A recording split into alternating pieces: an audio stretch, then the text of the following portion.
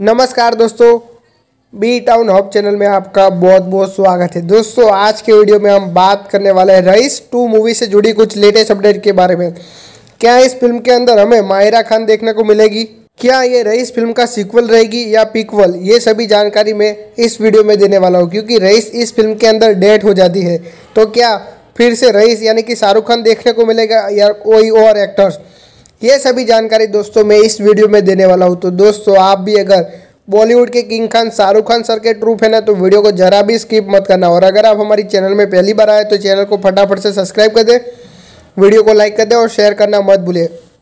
तो चलिए दोस्तों, बिना देर करते वीडियो स्टार्ट करते हैं। दोस्तों, वैसे तो शाहरुख खान अपने फैंस के लिए पठान फ़िल्म लेके आने वाले हैं। जिस फ़िल्म को डायरेक्शन देने वाले सिद्धार्थ आनंद और दोस्तों, एक पोस्टर यानी कि फ़र्स्ट लुक भी आ गया था शूटिंग के टाइम का। जो कि बहुत ही दमदार था, शाहरुख खान का लंबे बाल था और बीएड भी थी।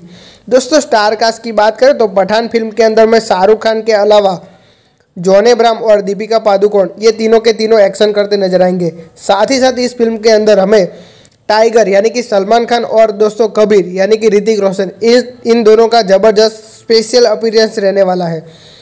दोस्तों, रईस फ़िल्म की बात करें तो इस फ़िल्म को डायरेक्शन देने वाले हैं राहुल ढोलकिया। जिन्होंने रईस फ़िल्म को डायरेक्शन दिया था। और दोस्तों, प्रोड्यूस करेंगे रितेश सिद्धवानी, गौरी खान। स्टार कास्ट की बात करें तो दोस्तों, इस फ़िल्म के अंदर लीड रोल में हमें शाहरुख खान देखने को मिलेंगे। वही दोस्तों, एक्ट्रेस की बात करें तो काजल अग्रवाल देखने को मिल सकती है। अभी तक ऑफिशियल अनाउंसमेंट नहीं हुई दोस्तों इस फ़िल्म की, लेकिन जल्द से जल्द इस फ़िल्म की ऑफिशियल अनाउंसमेंट देखने को मिल सकती है, क्योंकि फैंस चाहते हैं कि इस फ़िल्म का पार्ट टू बनना चाहिए, क्योंकि इस फ़िल्म के अंदर हमें एक्शन देखने को मिला था। रोमांस देखने को मिला था और पीरियड एक्शन ड्रामा था दोस्तों इस फ़िल्म के अंदर, जो कि फैंस को बहुत ही पसंद आया था, स्पेशली यंगस्टर को ये फ़िल्म बहुत पसंद आई थी, क्योंकि इस फ़िल्म के अंदर मास ऑडियंस को ज़्यादा पसंद आने वाला कंटेंट था। डायलॉग थे सॉन्ग थे और एक्शन भी था दोस्तों।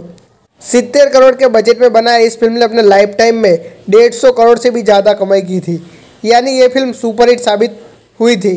अब बेकर्स इस फ़िल्म का पार्ट टू बनाने जा रहे हैं। जल्द से जल्द इस फ़िल्म की ऑफिशियल अनाउंसमेंट देखने को मिल सकती है। लेकिन दोस्तों, अभी हाल में शाहरुख खान पठान फ़िल्म की शूटिंग में बहुत ही ज़्यादा व्यस्त है। जैसे ही उस फ़िल्म की शूटिंग कंप्लीट होती है, उसके बाद इस फ़िल्म की ऑफिशियल अनाउंसमेंट देखने को मिल सकती है। इसके अलावा दोस्तों, शाहरुख खान संकी फ़िल्म भी करने वाले हैं, जो कि साउथ के डायरेक्टर अटली कुमार के साथ करने वाले हैं। तो अभी तक इस फ़िल्म की ऑफिशियल अनाउंसमेंट भी देखने को मिली नहीं है। तो दोस्तों, आप शाहरुख खान की कौन सी फ़िल्म के लिए ज़्यादा एक्साइटेड है, हमें कमेंट बॉक्स में लिख के ज़रूर बताना। वीडियो पसंद आए तो हमारे चैनल बी टाउन आपको सब्सक्राइब कर